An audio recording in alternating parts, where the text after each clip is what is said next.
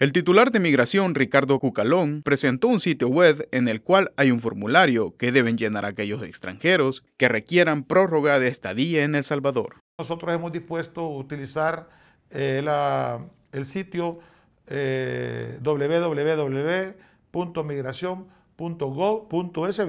con el cual ustedes pueden ingresar Cucalón exhortó a los ciudadanos extranjeros que se encuentran en el país a cumplir con la cuarentena y aclaró que Migración tiene la facultad para enviar a un centro de contención a extranjeros que circulen sin la autorización debida en vía pública. Todas estas personas que han sido ubicadas están siendo trasladadas a los diferentes centros de contención que hay en el país.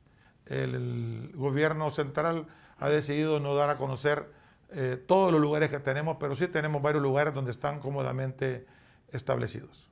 La fuerte vigilancia por parte de las autoridades salvadoreñas aún se mantiene en zonas fronterizas del país, principalmente en los puntos ciegos por parte de la PNC y la Fuerza Armada.